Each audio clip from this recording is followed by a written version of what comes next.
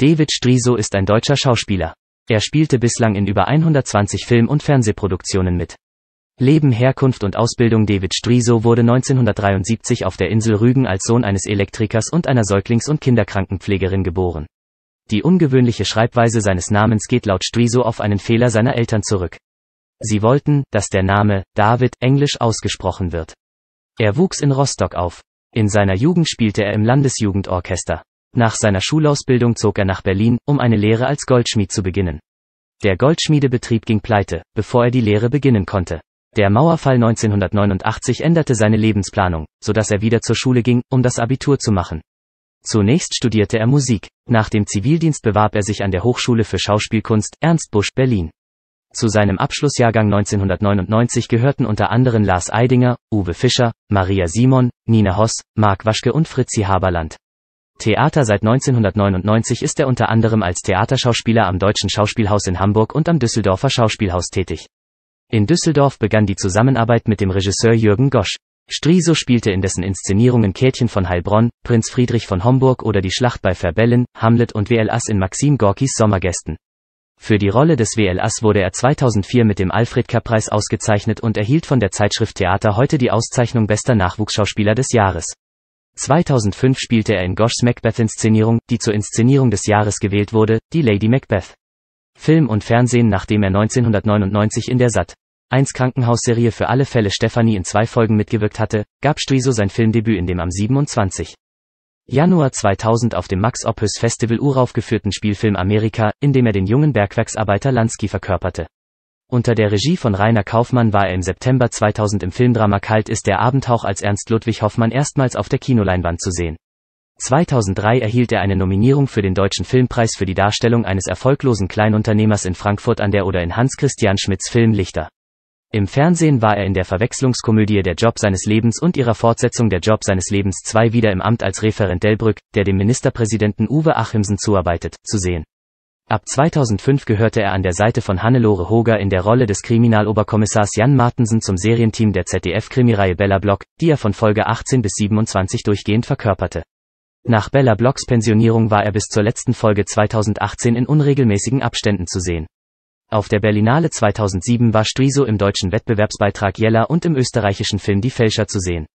Der letztgenannte Film wurde im Februar 2008 mit dem Oscar in der Kategorie Bester fremdsprachiger Film ausgezeichnet.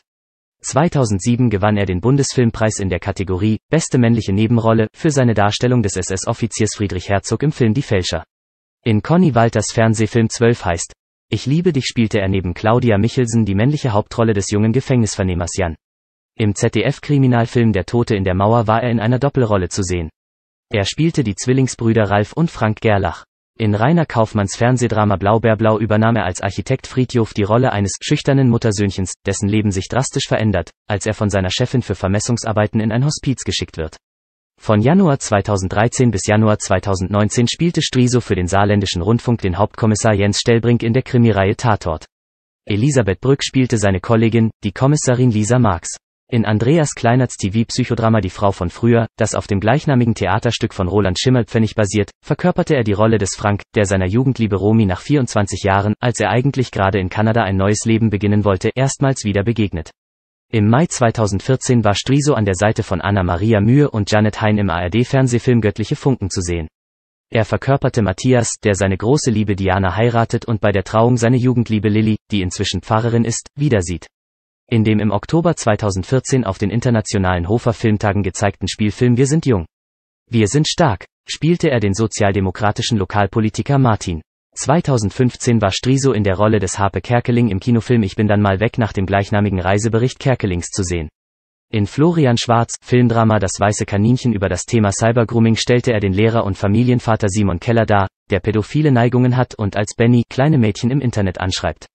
Im Fernsehfilm Katharina Luther übernahm er die Rolle des Mönchs und Reformators Martin Luther. Seit 2018 spielt er an der Seite von Golo Euler in der ZDF-Samstagskrimireihe Schwarz und Schwarz den Privatdetektiv Andreas, Andy, Schwarz, der gemeinsam mit seinem Bruder Matthias, Metz, Schwarz, einem Kriminalbeamten, Mordfälle aufklärt. Striso ist auch als Sprecher für Hörbücher tätig. Seit 2020 sind er als Sprecher und Stefan Weinziel als Schlagzeuger in Günter Grass Blechtrommel als Lesung mit Schlagwerkmusik zu hören. Die Konzertlesung wurde im Juni 2021 als Hörbuch im Buchfunk Verlag Leipzig veröffentlicht. Privates David Striso war in den 1990er Jahren mit der Schauspielerin Maria Simon liiert.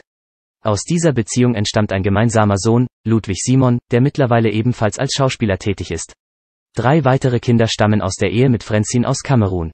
2015 trennte sich das Paar. 2016 wurde bekannt, dass Striso und seine Managerin Ines Gansberger ein Paar sind. Im Dezember 2018 heiratete das Paar. Die beiden haben einen gemeinsamen Sohn und leben in Berlin. Auszeichnungen 2001, Sonderpreis für darstellende Kunst der Landeshauptstadt Düsseldorf 2003. Preis der deutschen Filmkritik als bester Darsteller für Lichter und Bungalow 2003, Nominierung für den Deutschen Filmpreis in der Kategorie Bester Nebendarsteller für Lichter 2004, Nachwuchsschauspieler des Jahres der Theaterzeitschrift Theater heute 2004, Alfred K. Darstellerpreis beim 41. Theatertreffen Berlin 2007, Deutscher Filmpreis in der Kategorie Beste darstellerische Leistung, männliche Nebenrolle für die Fälscher 2008, Preis für Schauspielkunst beim Festival des deutschen Films gemeinsam mit Nina Host 2010, Nominierung für den Deutschen Filmpreis in der Kategorie Beste darstellerische Leistung. Männliche Hauptrolle für So glücklich war ich noch nie 2010. Preis der Deutschen Filmkritik als bester Darsteller für 3 2011. Hessischer Fernsehpreis, Sonderpreis der Jury zusammen mit Andreas Schmidt und Jördis Triebel für ihre Ensembleleistung in Ein guter Sommer 2012. Grimme-Preis für Ein guter Sommer 2012. Preis für die beste darstellerische Leistung beim Filmkunstfest Mecklenburg-Vorpommern für Transpapa 2014. Günter Rohrbach Filmpreis Darstellerpreis für Zeit der Kannibalen gemeinsam mit Katharina Schüttler und Sebastian Blomberg 2015. Deutscher Schauspielerpreis 2015 als bester Schauspieler in der Kategorie Hauptrolle für Wir sind jung. Wir sind stark. 2016. Bambi in der Kategorie Schauspieler National 2017. Bayerischer Fernsehpreis, bester Schauspieler in den Kategorien Fernsehfilme, Serien und Reihen für seine Rollen in Das Weiße Kaninchen und Katharina Luther 2017. Robert Geisendörfer Preis.